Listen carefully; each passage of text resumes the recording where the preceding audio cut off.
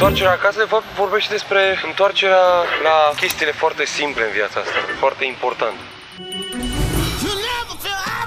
Sunteți acolo? Hei! Bine ați venit la mine acasă.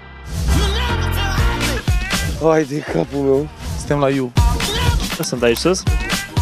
Vă rog frumos să-mi lăsați prietenul în pace. Doamnelor și domnilor, se filmează acasă. Să trecem la Ciocanul lui Tot.